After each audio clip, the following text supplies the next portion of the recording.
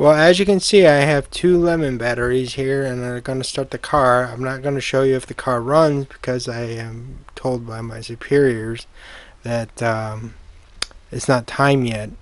So you can experiment. You can get this battery at Home Depot and uh, fill it with lemon juice and experiment on your own. There's a couple little things you're going to need to do. One of them, you're going to need to boil the uh, lemon juice down to a certain consistency but I'm not going to tell you how much or anything else because this is an experiment for everyone.